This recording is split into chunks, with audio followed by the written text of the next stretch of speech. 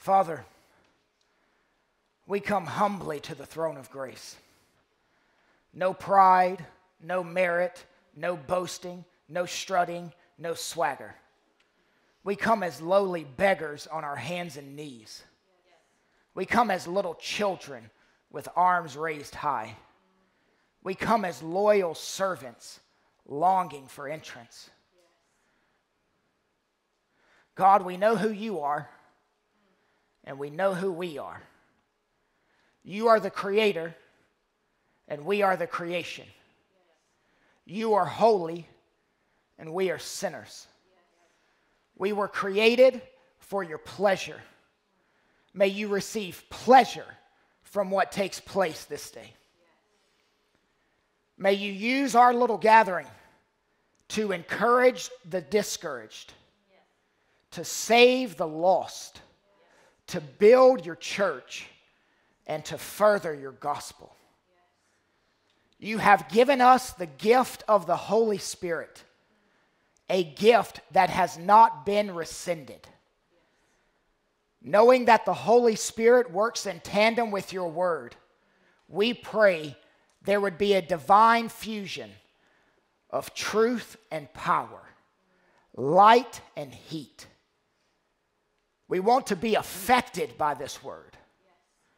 Our goal is not simply to hear a tale told, we need to experience the storyteller.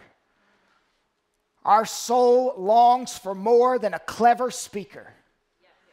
We need to experience more than a witty topic. Father, I stand before your people. Some are newly converted and need milk. Others are walking deeply with you and need meat. Would you feed the lambs and the sheep, the spiritual newborns and the spiritual giants? Help this to be another Sunday in which we leave convinced that our deepest need is met with the systematic, verse by verse preaching of your word. Make the gospel clear and our need of it clear. Help us give us such a, a deadness to this world, to reject the constant wooing let us never slumber, never lose our assurance, and never fail to wear armor when passing through enemy land. After today, help us to have a greater understanding of the wiles of the world and the deception of the devil. May we leave with weapons to counter them and assurance that Jesus has conquered them.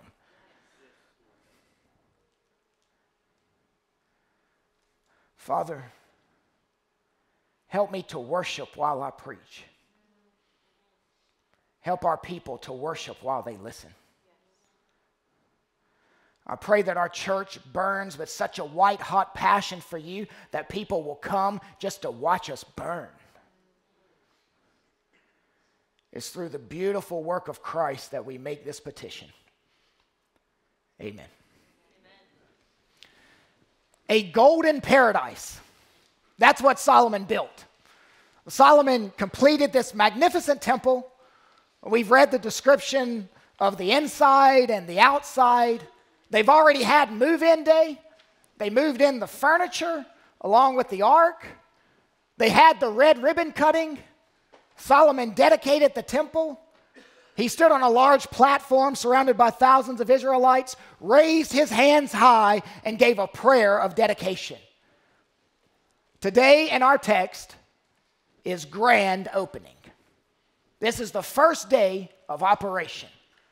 The temple is so clean and new. It's a gold building. Everything is gold plated, gilded, and inlaid with gold. Gold used in copious quantities gold pillars, gold doors, gold fixtures, gold hinges. What vast expenditures of funds this must have required. This is a highly ornamental building. Gold everywhere walls, ceiling, floor, altar, gold chains hung on gold rings, gold statues of cherubim. The gold is glistening. It's so beautiful and so clean. I would just have, have it all roped off. Tell people, You can look, but from a distance. Don't touch. I don't want your fingerprints all over the gold. You're just gonna, you're just going to smudge it all up. Everyone kicking up dust and a, and a layer of dust all over the gold surfaces. Ma'am, just stay behind the stanchions, please. Yes, do not go past the roped off area, sir. That's how it would be if I ran it. This is a museum. Don't touch, just look. Security, tase anyone that puts fingerprints on the gold. Notice, Solomon is not so protective. This building is not a museum, it's a working factory, it's a slaughterhouse. There are not only fingerprints, but guts and blood. What happens on the first day of operations? What activity takes place? We find it in verse 62 of our text. Then the king and all Israel with him offered sacrifices before the Lord. Solomon offered as peace offerings to the Lord 22,000 oxen and 120,000 sheep. So the king and all the people of Israel dedicated the house of the Lord. The same day, the king consecrated the middle of the court that was before the house of the Lord. For there he offered the burnt offering and the grain offering and the fat pieces of the peace offerings. Because the bronze altar that was before the Lord was too small to receive the burnt offering and the grain offering and the fat pieces of the peace offerings. So Solomon held the feast at that time, and all Israel with him, a great assembly from Leboth Hamath to the brook of Egypt, before the Lord our God, seven days. Thousands gather for worship. This is a great attraction. People come from the north, Leboth Hamath, and the south, the brook of Egypt. From all over Israel, everyone from north to south was in attendance. They, they all gather in Jerusalem at the new temple. This is like saying everyone from Alaska to the Everglades went to Washington, D.C. This is a joyous and monumental occasion. This dedication lasted a week, and the feast another week. This was a, a 14 day total celebration. The grand opening lingered. Put yourself in the shoes of an ordinary Israelite who for all of your life has been bringing sacrifices to a tent. Now you bring it to a magnificent golden temple. The light beating off the gold makes it appear like you are walking toward the sun. This quiet, solemn air surrounding the temple is about to disappear. The people come bringing sacrifice. Our narrator gives us the numbers there are 22,000 head of cattle mooing, 120,000 sheep buying. This isn't a quiet affair. This is very loud. To be heard, you must scream. This 142,000 animals seems like it was in addition to chapter 8, verse 5, where Solomon was sacrificing so many sheep and oxen that they could not be counted or numbered. The sheer number is beyond comprehension, staggering figures.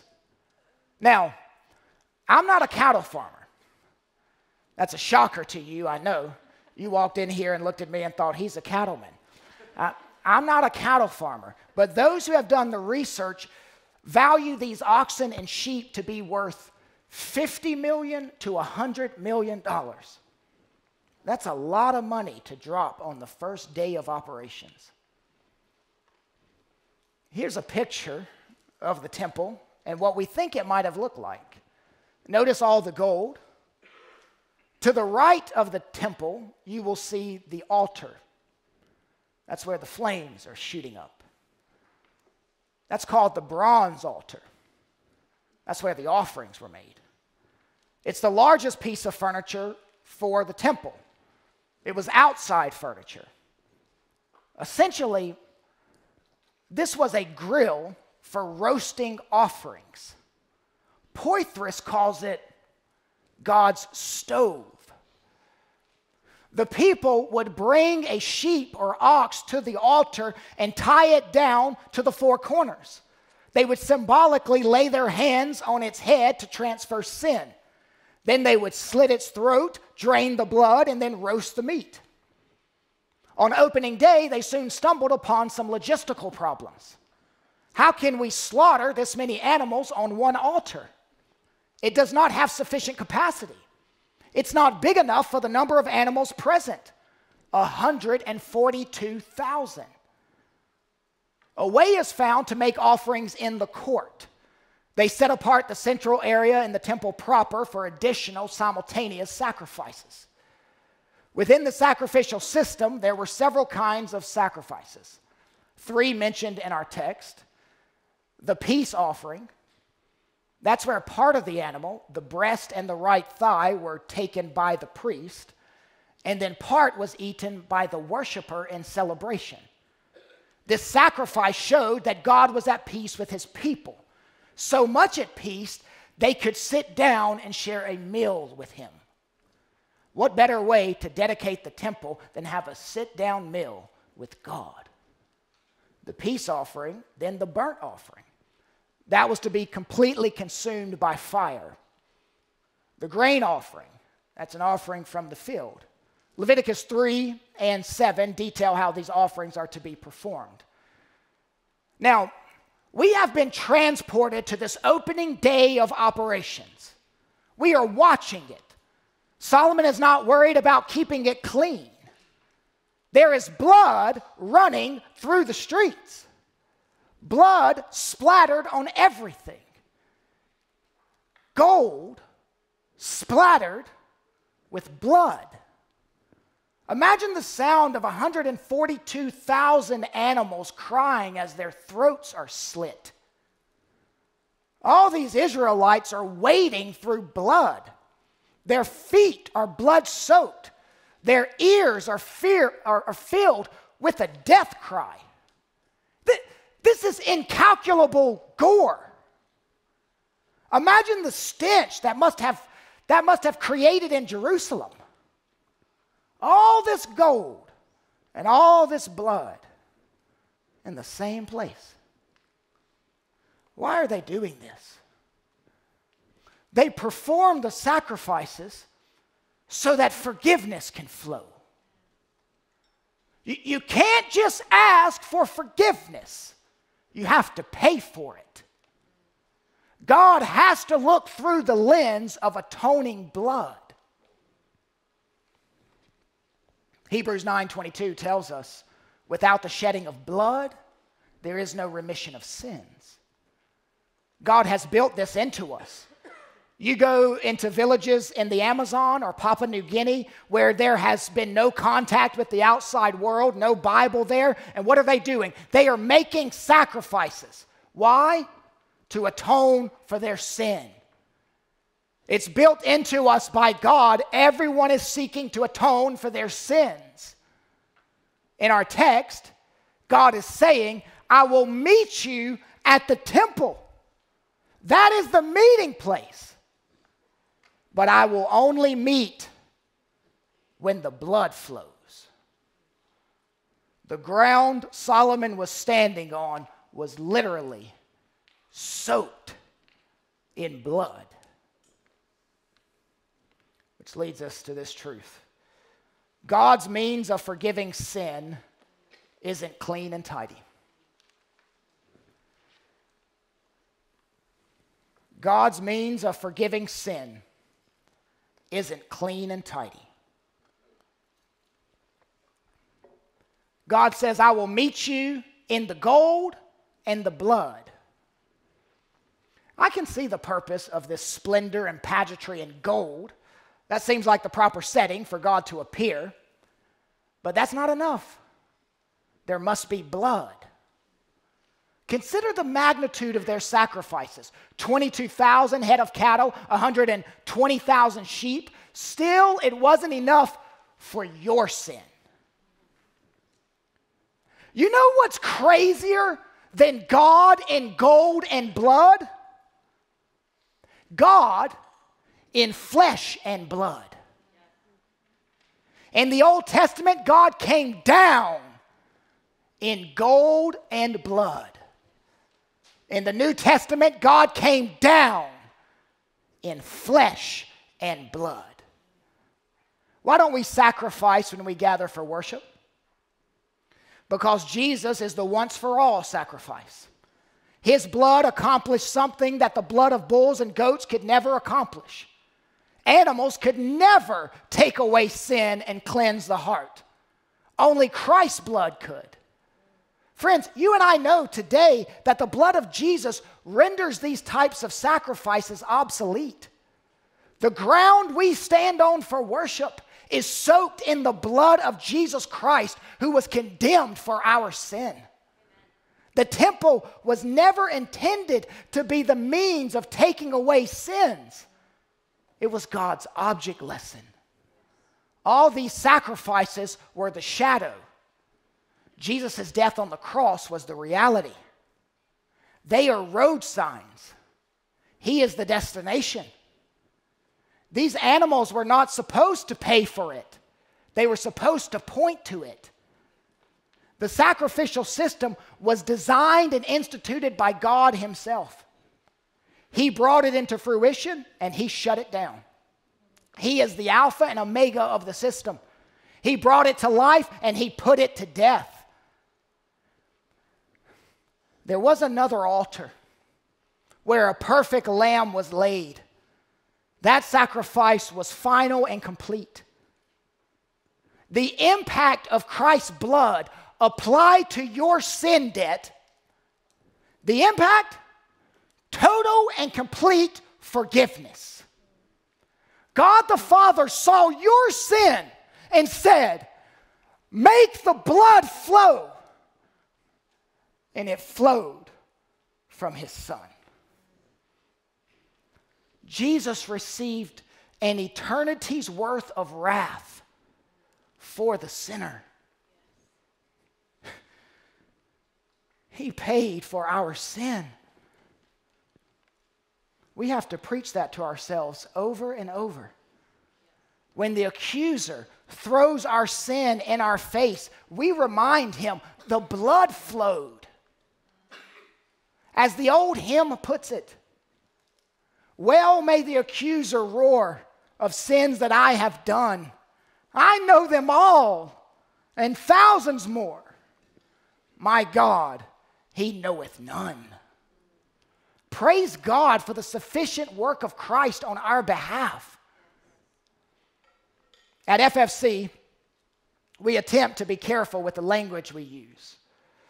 We do not call this area the altar. There are no altars in New Testament churches. If you have an altar, you are saying Jesus' sacrifice wasn't sufficient. Let's be particular with how we speak. Non Christian, non Christian, you can't sacrifice enough to be saved. You can't do enough good deeds, give enough money, love people enough, change the world for the better enough. Your, your sacrifices, the things you do to make God smile, your sacrifices are nothing more than washing and dressing a corpse. Jesus' sacrifice makes the dead come alive. Man can do the one, God alone can do the other. Non Christian, salvation is not making the good works flow. Salvation comes by making the blood flow. Not your sinful blood, but Christ's sinless blood. And you say, Kyle, well, how do I know that is enough? Christ rose from the dead to show that the Father accepted the payment. Now you repent of your sin and come to the risen Christ as Lord. I would never name a church building the temple not Temple Baptist Church or the heretical Mormon temples. And here's why there are no more temples. No more temples like this. The temple of God is no longer brick and mortar. And we need to be reminded of this. Do, do you know what Paul tells us in 1 Corinthians 6? That your body is now the temple of God. The Holy Spirit, the third person of the Trinity, is in the body. God is in the temple again, the bodies of Christians. So Paul concludes in 1 Corinthians 6 you are not your own, you are bought with a price, so glorify God in your body. Paul's doctrine, your templeness.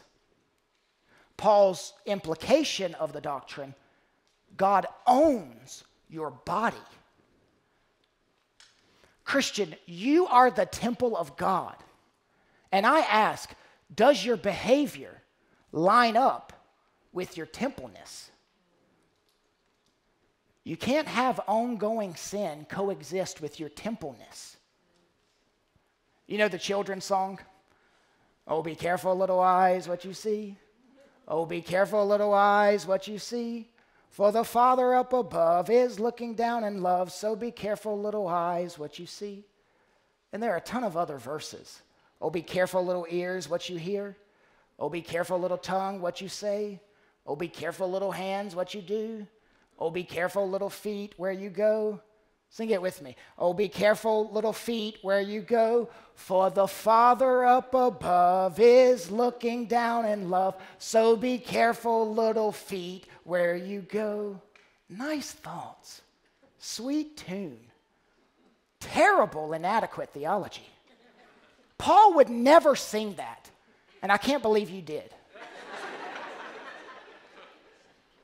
That's not how he would apply our templeness.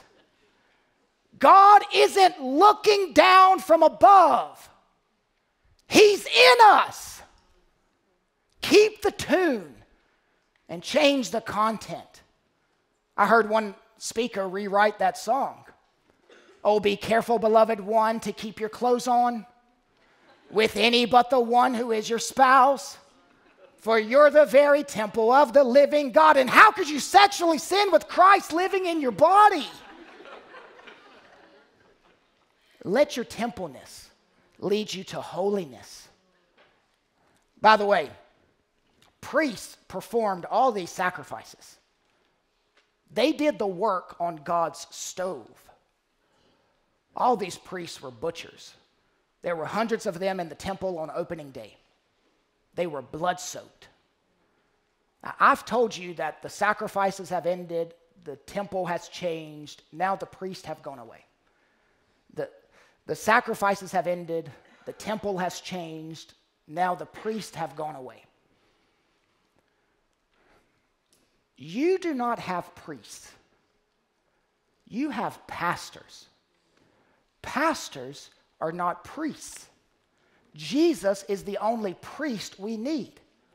Love your pastors, encourage your pastors, but don't worship them. Honor them, but don't think they have some special connection to God that you know nothing of. You don't go through me to get to God the Father, you go through Jesus.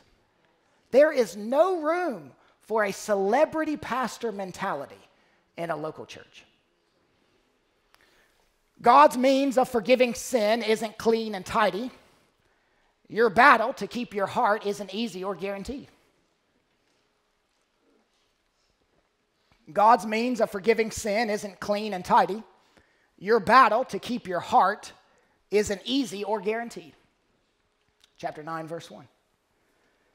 As soon as Solomon had finished building the house of the Lord and the king's house and all that Solomon desired to build, the Lord appeared to Solomon a second time, as he had appeared to him at Gibeon. And the Lord said to him, I have heard your prayer and your plea, which you have made before me. I have consecrated this house that you have built by putting my name there forever. My eyes and my heart will be there for all time. God tells Solomon, Your long prayer of dedication I've listened to it and received it. I will put my name in this temple. Not only are God's eyes going to be there, but his heart will be there too. His name is in it, his eyes are on it, his heart is with it. This is all anthropomorphic language describing God in human terms. Verse 4 And as for you, if, if you will walk before me as David your father walked, with integrity of heart and uprightness, doing according to all that I have commanded you, and keeping my statutes and my rules, then then I will establish your royal throne over Israel forever, as I promised David your father, saying, You shall not lack a man on the throne of Israel. God reiterates the responsibilities of the Davidic kings. David set the standard, a man after God's own heart. He, repented quickly, he was a speedy repenter. God doesn't expect perfection from anyone but his son. But he does expect these kings to keep the statutes, to keep the rules, and be quick to repent when they fall short. In other words, battle to keep your heart. If you do this, David's dynasty will last forever. There will always be a grandson of David on the throne. The book of Kings is called Kings for a reason. We are quickly about to run up on a boatload of kings in our study the narrator will make a theological assessment of each king. How did he battle to keep his heart? Did he have a heart to obey God's commands? Notice the if then construction of the text. This grammatical construction is conditional. If you disobey, certain things will happen. If you obey, certain things will happen. If then each king has a choice to make. Are you going to walk with God or resist him? There are two paths. Each path leads to different destinations. This sober warning has a gracious purpose to keep them on the right path, to choose the narrow way, not the broad way. God gives Solomon the same guarantee he gave his father David. We've seen the positive if then, now the negative if then. Verse 6. But if you turn aside from following me, you or your children, and do not keep my commandments and my statutes that I have set before you, but go and serve other gods and worship them, then I will cut off Israel from the land that I have given them, and the house that I have consecrated for my name. I will cast out of my sight, and Israel will become a proverb and a byword among all peoples. God lays out the high cost of apostasy. He spells it out for Solomon. God threatens to destroy the temple if any successor doesn't obey his law. If they continually ignore my word, if they persistently disregard the covenant, then God uses divorce language here he will divorce Israel.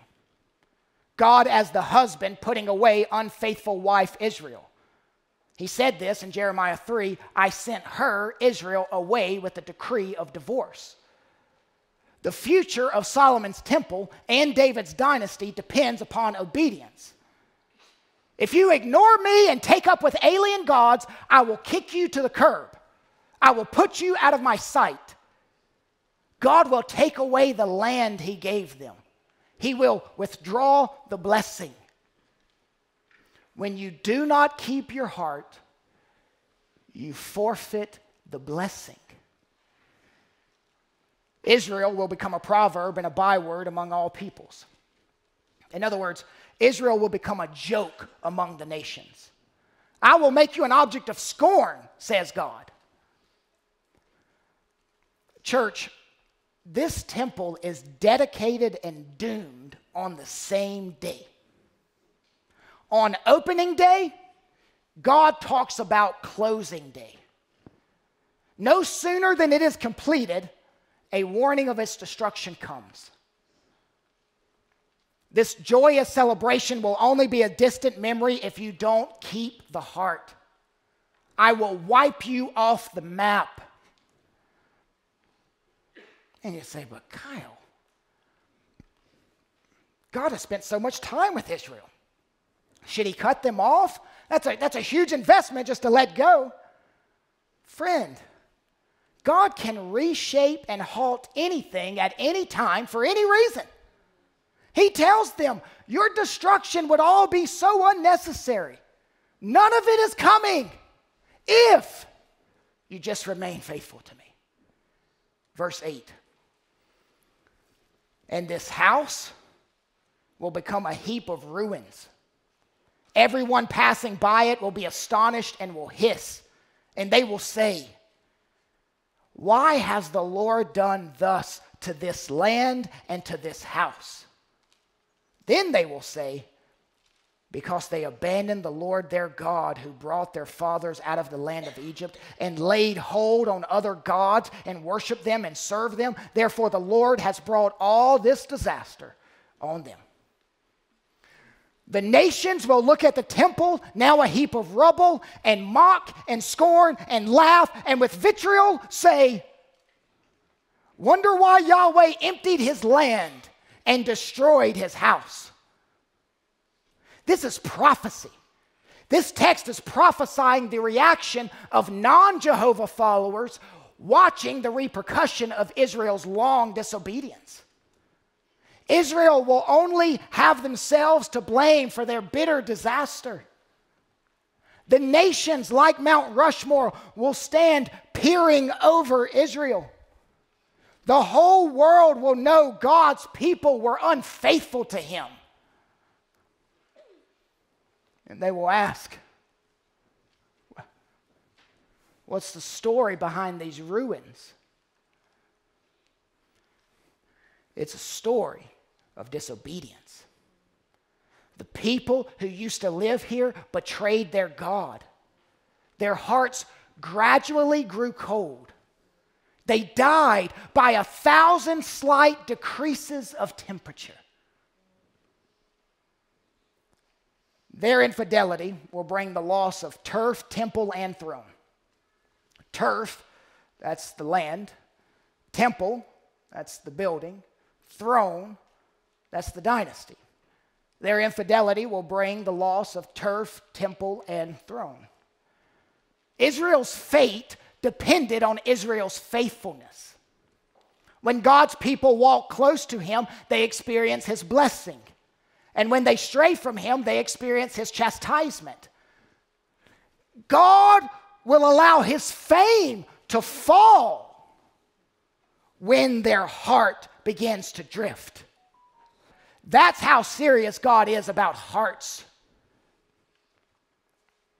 Your battle with keeping your heart isn't easy or guaranteed. It's the outline, church, and the application all rolled into one.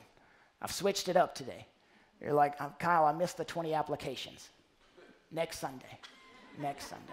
This is the outline and the application all rolled into one. We are reading Proverbs right now in our family worship. Son, keep your heart seems to be the theme. This is a command all throughout the Bible. It's what Adam and Eve failed to do in the garden, failed to keep their heart. It's what we will not have to worry about doing in the final garden because we will all have hearts that will not need to be kept. They will be fully and totally devoted to their Creator and Redeemer. Until then, they have hearts like that, and I have a heart like that. Now, when you turn away, that indicates something has captured your heart. You have a new love, so you turn away. You need to be on guard, right in your seat, right now, thinking over your walk with God. Where are you seeing places of drift?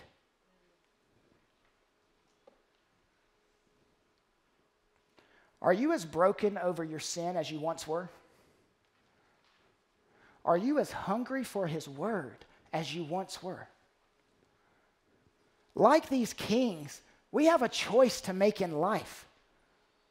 We will walk the long, hard, narrow path, or we will opt for the broad way. We can keep the heart or we can drift. Are you pursuing God? How are you pursuing God? Tangible ways you are pursuing God. What are some tangible ways you are failing to pursue God? Your decisions have consequences. When you neglect corporate worship, there are consequences. When you neglect reading God's word, there are consequences. Solomon told his son over and over to keep your heart, telling his son to do something he didn't even do. I've been praying lately make my children better than my parenting.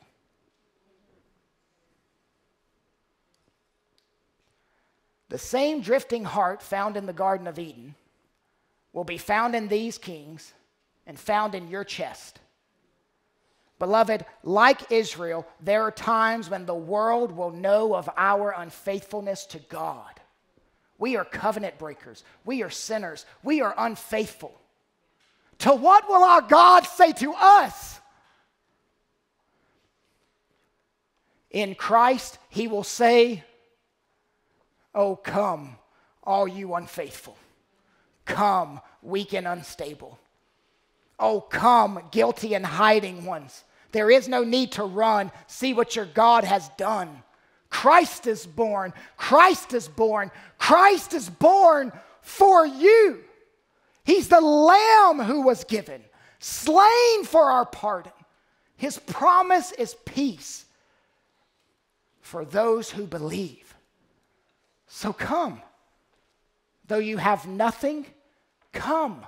He is the offering. Come. See what your God has done. Israel's fate depended on Israel's faithfulness. Thank God our fate depends on Christ's faithfulness. He was faithful in the place of the unfaithful. God's commitment to his people is unshakable. God's means of forgiving sin isn't clean and tidy. Your battle to keep your heart isn't easy or guaranteed. Our wait for a conquering king isn't silly or a pipe dream. Our wait for a conquering king isn't silly or a pipe dream. This section of verses, verses 10 through 28, will demonstrate how Solomon was a success at international trade. It walks out his ongoing ability to expand the kingdom, his trade partnerships, his national defense, his commerce. And in verse 10, he continues an old alliance. At the end of 20 years, in which Solomon had built the two houses, list the two houses the house of the Lord and the king's house. And Hiram, king of Tyre, had supplied Solomon with cedar and cypress, timber and gold, as much as he desired. King Solomon gave to Hiram 20 cities in the land of Galilee. But when Hiram came from Tyre to see the cities that Solomon had given him, they did not please him. King Hiram gave King Solomon many building materials to complete the royal complex. So Solomon returns the favor and gives King Hiram 20 towns, 20 little villages or hamlets. We're coming up on Christmas time here. Have you ever received a gift you didn't want? This just makes me laugh. King Hiram is like, I do not want these backwoods hick towns. King Hiram is reading the list of towns he received as a gift Buck Snort, Tennessee. Monkey's Eyebrow, Kentucky. Possum Trot, Kentucky. Bug Tussle, Kentucky. These are actually real towns. Hiram toured them and was unimpressed. He believes Solomon has ripped him off. I ask the question is Solomon cheating the nations rather than evangelizing them? Verse 13. Then he, that's King Hiram, said, what kind of cities are these that you have given me, my brother? So they are called the land of Cabul to this day. The word brother is a diplomatic term to mean ally. This is not a term that indicates a fellow follower of Yahweh. King Hiram named the area with the 20 towns a word meaning defective, nothing, worthless, unproductive land, a marsh. It's an insulting regional nickname that still stood at the time of this writing. Not everyone comes up smiling during diplomatic affairs. Despite his apparent displeasure with the cities, King Hiram continues to trade with Solomon and gives him 120 talents of gold, according to the next verse. That's over four tons of gold. That's a lot of gold. And this gold was not used for the temple because the temple is finished. Solomon cornered the gold market. He's got gold running out of his ears. I, I, and I'm not sure if this gold was for the 20 towns. Some scholars believe so. But the amount of gold pouring into Solomon's coffers are stunning, swelling the national treasury. Solomon excelling at international trade, that's verses 10 through 14. Solomon excelling at international trade. Solomon excelling at national defense. That's verses 15 through 24. Notice verse 15. And this is the account of the forced labor that King Solomon drafted to build the house of the Lord, and his own house, and the Millo, and the wall of, of Jerusalem, and Hazor, and Megiddo, and Gezer. Gezer is a um, retirement community for. You're welcome for that. That was free. All right, Solomon used forced labor to construct these fortified walls a, a massive non voluntary crew erected walls around Jerusalem to protect it from the outside onslaughts. Solomon built Fort Knox. In verse 16, we have a parenthesis. Pharaoh, king of Egypt, had gone up and captured Gezer and burned it with fire and had killed the Canaanites who lived in the city and had given it as a dowry to his daughter, Solomon's wife. Now let's pause here. We are introduced to another king the king of Egypt, Solomon's father in law. Solomon married a pagan woman, probably to seal some trade agreement with this pagan Egyptian king. Solomon's marriage to Pharaoh's daughter was a marriage of expedience, not obedience to God's precepts. It was a marriage based on political diplomacy, not biblical guidelines. It was a serious breach of God's word. She brought different gods into the home. Let's talk about her father, Pharaoh, king of Egypt. well, daddy gives his little spoiled princess a gift. Honey, I always, always hear you talk about Waco, Texas. And you watch all those shows about it. Oh, how you love Waco, Texas. Well, guess what? I invaded it and killed all the men, women, and children. I mean, I torched them. Now Waco is yours. Thanks, Dad. She accepts her wedding gift. And you know, he, he could have given her dishes. This gift ended up creating work for Solomon, as most gifts do. In verse 17, he, he must go rebuild the city for his wife. Verse 19.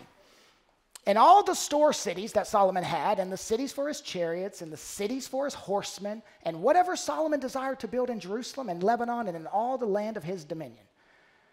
This describes the, the military garrisons, the facilities, defense networks, further infrastructure to strengthen the city. Verse 20. And all the people who were left of the Amorites, the Hittites, the, the Perizzites, the Hivites, and the Jebusites, who were not of the people of Israel, their descendants, who were left after them in the land, whom the people of Israel were unable to devote to destruction, these Solomon drafted to be slaves. And so they are to this day. But of the people of Israel, Solomon made no slaves they were the soldiers, they were the, his, office, his officials, his commanders, his captains, his chariot commanders, and his horsemen. These were the chief officers who were over Solomon's work 550 who had charge of the people who carried on the work. Now, church, there's a, there's a significant number of non Israelites in the land, and they're not Jehovah followers. They should have been exterminated from the land during past holy wars, but Israel disobeyed God. These are remnants of the original inhabitants, survivors of the holy wars. The Israelites become project managers, and these people, the other ites, become the slaves. Now, some Israelites were temporarily included in the forced labor to complete the temple and the other buildings in the subdivision, but here they are project managers. Solomon excelling at international trade, Solomon excelling at national defense, Solomon excelling at religious obligations. Verse 25. Three times a year, Solomon used to offer up burnt offerings and peace offerings on the altar that he built to the Lord, making offerings with it before the Lord. So he finished the house. Solomon held the three annual festivals regularly celebrated in Israel. They were the three pilgrim rituals for the nation Feast of Unleavened Bread, Feast of Weeks, Feast of Booths. Solomon is, is meeting the religious obligations set by the Mosaic Law. He's maintaining orthodoxy in liturgical regularity. All the kings coming up in the book will be judged on if they allowed worship at other places, high places. Solomon is, isn't doing that at the moment. See Solomon's success at international trade, Solomon's success at national defense, Solomon's success at religious obligations, Solomon's success at sea commerce. Verse 26. King Solomon built a fleet of ships at Ezion Geber, which is near Eloth on the shore of the Red Sea in the land of Edom. And Hiram sent with the fleet of his servants seamen who were familiar with the sea, together with the servants of Solomon, and they went to Ophir and brought from there gold, 120 talents, and they brought it to King Solomon. Solomon built a navy, a naval force. They have their little white sailor hats and all. King Hiram's people had sea legs, so they sent seaworthy sailors to help provide naval expertise. These ships are not for war, but for trade. Solomon chose a strategic site which controlled the caravan routes from Arabia. Uh, Solomon is taking over the seas, really taking over the trade routes on the seas. You get a glimpse of shipping and commerce. Think long ocean liners with shipping containers. Israel, they were not a seafaring people, but their influence now enters the oceans. Solomon launches this breathtaking enterprise. Israel built the ships, Tyre sailed them, and both nations brought home the gold. Solomon is expecting, is, is expanding his kingdom with these entrepreneurial exploits. He found a, a lucrative endeavor and he explored it, conquered it, ransacked them. Israel waited for a king like this. This is their golden age. A king who went out and brought treasures back. A king who expanded his domain. A king who extended his reign over land and sea. God had fulfilled his word to Israel. He gave them a king. Their wait for a king wasn't silly or a pipe dream. They now have a king who outshines other kings.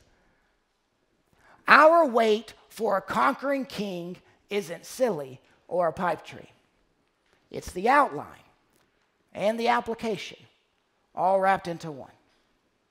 We are the people of God, and we await the return of our King. Our waiting isn't silly, it isn't a pipe dream. The King for which we long to return will return. He's Israel's final king. He will reign over land and sea. And, and, not a little piece of land in the Fertile Crescent, but all the land on the globe. He will not merely control one seaport, but rather he will control all the seas. Ultimately, Solomon wasn't the king the people needed. Another son of David will arise and take the reins of the world. Father, Solomon filling the streets of Jerusalem with blood isn't the only time the streets of Jerusalem were splattered with sacrificial blood. Your son Jesus walked that road to purchase our redemption. And Jesus walked that road again in his resurrected body. Thank you for showing us Solomon, but we long for another king. We long for your king. We long for the greater Solomon. Maranatha, come, Lord Jesus. We possess an eager yearning for your speedy return. Amen.